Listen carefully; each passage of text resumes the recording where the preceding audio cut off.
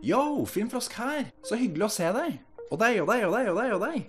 Hei, nei, nei, du, ikke skru av, da. Dø. Amalie og Mathea på NRK. Noen som har sett det?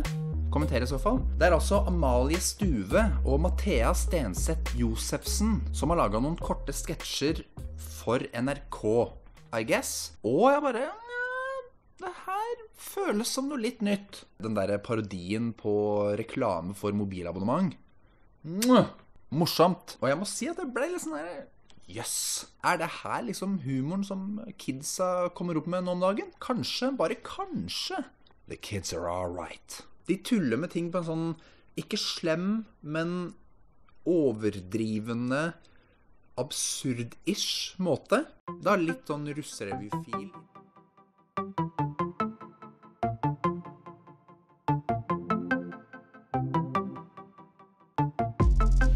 Da litt sånn russerevyfil innimellom, men òg ganske proft. Og det virker som at begge de jentene er morsomme. Jeg syns du kan se om noen har humor i kroppen, liksom.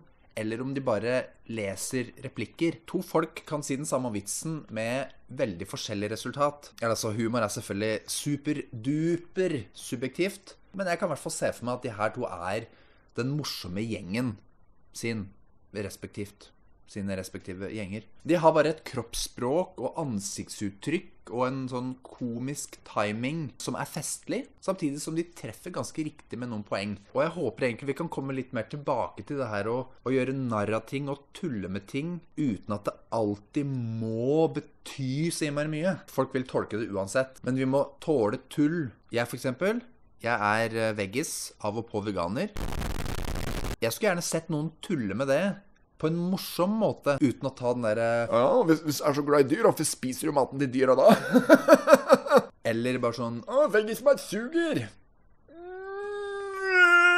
Det har vi sett før, og det er ikke kreativt. Gjør narr av uh, molekylveganere, eller hvordan du alltid må ha med deg niste, eller uh, ja, noen av de poengene som er litt mer sånn Som ikke bare er det gamle tullet, da. Men uansett. Faktisk Amalie og Mathea, jeg tror ikke dere kommer til å se den videoen her, men hvis, hvis dere gjør det Dere kjenner sikkert noen veggiser, veganere.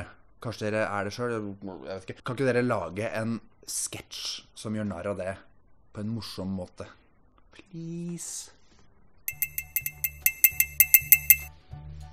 Please, kan dere gjøre det? Ok, videre. En av sketsjene er en Helene sjekker inn-parodi. Jeg har ikke sett Helene sjekker inn, men jeg kunne fortsatt se at den var tatt på kornet. Det var morsomt sjøl om jeg ikke engang har sett hva de parodierer. Mens sånn som den Klimpre-sketsjen føltes kanskje litt sånn torsdag kveld-aktig. Men som sagt, humor er supersubjektivt. I hvert fall så ble jeg positivt overraska. Og det er en annen serie òg på NRK som jeg holder på å se på, som jeg kommer til å lage en uh, liten video om. Det ga meg litt håp, da, å se at uh, humoren uh, er på vei til å branche litt ut, kanskje.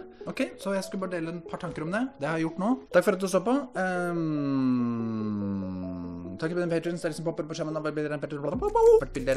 Og thank you very much.